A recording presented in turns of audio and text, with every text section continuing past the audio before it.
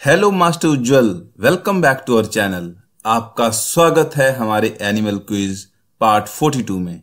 Are you ready yes इस quiz के दौरान आपसे पूछे जाएँगे फाइव क्वेश्चंस और हर क्वेश्चन को आंसर करने के लिए आपको मिलेंगे ten seconds so think very carefully before answer let us get started and your first question is how many eyes does a honey bee have एक हनी बी की कितनी आँखें होती हैं?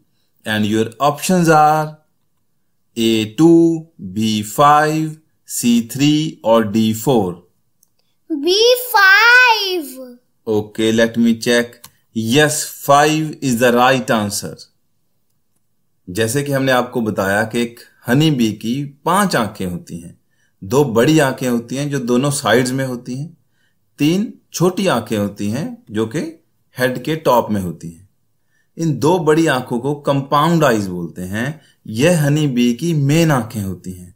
इन्हीं दो आँखों की वजह से हनी बी साइज़ पैटर्न्स और शेप्स को आइडेंटिफाई करती हैं और इन्हीं दोनों आँखों की वजह से हनी बी कलर्स को आइडेंटिफाई करती हैं। जैसे कि एक ह्यूमन आई कलर्स को शेप्स को और पैटर्न्स को डिटेक्ट करती हैं। इसी तरीके से हनी बी की कंपाउंड आइज़ भी यही काम करती है। लेकिन इसमें मज़े की बात यह है कि यह कंपाउंड आईज वो सारे कलर्स आइडेंटिफाई कर सकती हैं जो ह्यूमन आई करती है। बट अपार्ट फ्रॉम दैट यह कंपाउंड आईज अल्ट्रावायलेट लाइट को भी देख सकती हैं। अब हम हनी बी की इन तीन आँखों की बात कर लेते हैं जो कि उसके हेड के ऊपर होती हैं। इन तीन आँखों को सिंपल आइज़ भी बोलते हैं और ओसेली भी बोलते हैं। और इस ओसेली के अंदर सिर्फ़ एक ही लेंस होता है। और हनी भी इन आईज की हेल्प से किसी भी ऑब्जेक्ट के ऊपर फोकस नहीं कर सकती हैं। फोकस ना कर सकने की वजह से यह इन आँखों के थ्रू साइज़, ऑब्जेक्ट और पैटर्न्स को आइडेंटिफाई नहीं कर सकती हैं। बट यह आई सिर्फ़ इतना हेल्प करती हैं कि इनकी हेल्प से हनी भी लाइट की इंटेंसिटी को पता कर सकती है कि लाइट कितनी ज़्यादा है या कितनी कम है। Now let us move to your next question. And your second question is, how many days a camel can survive without drinking water? एक कैमल बिना पानी पिए कितने दिनों तक जिंदा रह सकता है and your option are A one month B two months C six months और D three months C six months okay let me check Yes six months is the right answer एक कैमल बिना खाए और पिए around six month तक ज़िंदा रह सकता है। और बिना खाए और बिना पिए डेजर्ट के अंदर हंड्रेड ऑफ़ माइल्स ट्रेवल कर सकता है। इसीलिए ही इसको रेगिस्तान का जहाज़ कहा जाता है। और यह इसलिए पॉसिबल हो पाता है कि ऊँट अपनी पीठ के ऊपर, अपने हम्प में बहुत सारा फैट इकट्ठा करके रखता है। ऑन एन एवरेज एक ऊँट अपनी पीठ के ऊपर अराउंड 80 पाउंड्स फैट को जमा करके रखता है। और जब वाटर और फ़ूड की अनअवेलेबिलिटी होती है तो यह इसी फैट को एनर्जी में और वाटर में ब्रेक कर लेता है और उसी को यूज़ करता है। और बहुत लंबे समय तक अगर ऊँट को खाना और पानी नहीं दिया जाए तो यह हम्प पूरी तरीके से डिसअपियर भी हो जाता है। Now let us move to your next question And your third question is, what is the maximum running speed of tortoise recorded till the date? एक tortoise की maximum recorded speed कितनी है? And your options are A. 1 mile per hour B. 2 miles per hour C. 0.63 miles per hour or D. 1.5 miles per hour C 0.6 miles per hour. Okay, let me check. Yes, you have given a right answer.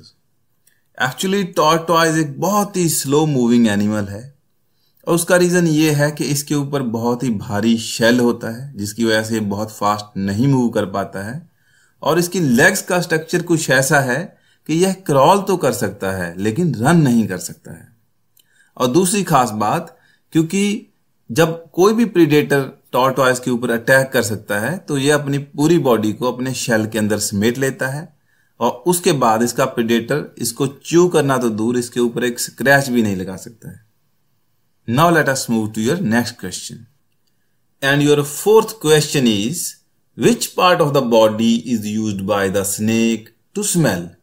एक सांप सूंघने के लिए अपने body का कौन सा part use करता है and your options are A tail B tongue C eyes और D skin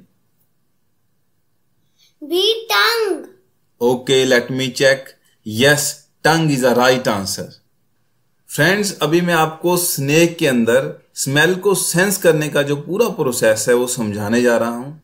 यह बहुत ही अमेजिंग और इंटरेस्टिंग है।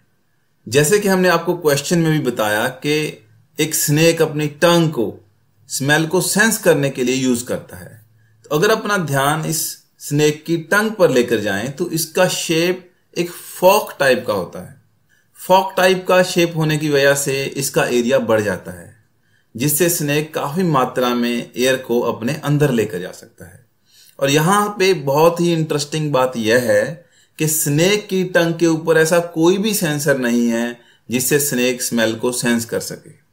एक्चुअली होता क्या है कि स्नेक जितनी भी एयर अपनी टंग से कलेक्ट करता है, उसको अपने माउथ के अंदर ले जाता है।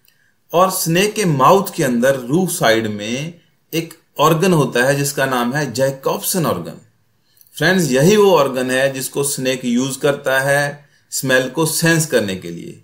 जितनी भी एयर स्नेक के माउथ के अंदर आती है, वो कुछ होल्स के थ्रू जैक ऑप्शन ऑर्गन के पास पहुँचती है, जिससे कि स्नेक उसको सेंस करता है। और फिर जैकॉप्सन ऑर्गन से कुछ नर्व जाती हैं ब्रेन तक, जिनके थ्रू सारी की सारी इंफॉर्मेशन ब्रेन को ट्रांसफ़र कर दी जाती है। फ्रेंड्स यही कंप्लीट प्रोसेस था स्नेक के अंदर स्मेल को सेंस करने का, जो मैंने एक्सप्लेन किया। I hope that it will be quite interesting and informative for all of you now let us move to your next question and your fifth question is which animal sleeps upside down ऐसा कौन सा animal है जो उल्टा होकर सोता है?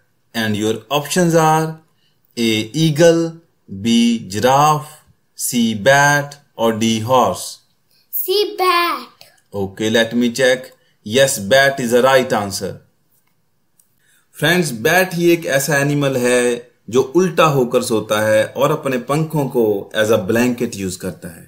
और यही एक ऐसा मैमल है जो उड़ सकता है। And the question of the day is which animal is called as gardener of the forest किस एनिमल को जंगल का माली कहा जाता है? Friends you can share your answer in the comment section and we will reply there अगर आपको हमारा यह वीडियो पसंद आया हो तो आप लाइक बटन को प्रेस कर सकते हैं और चाहे तो हमारे चैनल को सब्सक्राइब भी कर सकते हैं। Now let us move to Ujjal's scorecard. You have scored 5 out of 5. Congratulations. Thank you, Papa. Welcome. Viewers, if you liked our video, please press the like button and share it with your friends and colleagues. And don't forget to write your feedback in the comment section. And in future, we are going to create many such videos which could be quite informative for all of you. And to get the notification of all the videos, please subscribe our channel. And to get the notifications as early as possible, press the bell icon. Thank you so much for watching.